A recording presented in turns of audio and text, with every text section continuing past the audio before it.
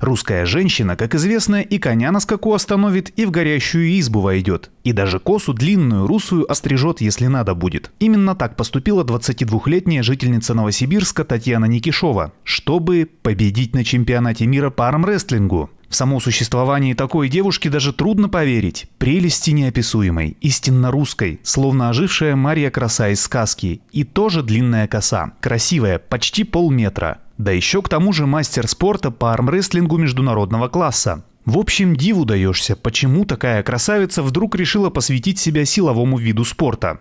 Ну, получилось так, что в возрасте 14 лет э, я, сестра и мама, мы пошли в тренажерный зал. Вот. И занимались сначала для себя. Вот. И если знаете, есть такие сельские игры, которые проводятся раз в два года.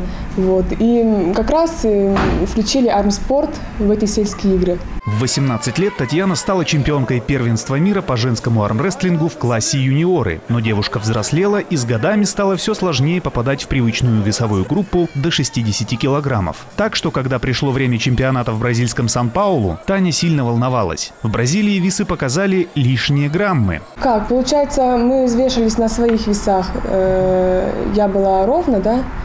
Вот, а пошли туда, встала на весы, лишние 50 грамм. Ну, как бы уже не, не было выбора, да. Вот. Сразу в голову пришла эта мысль обрезать волос.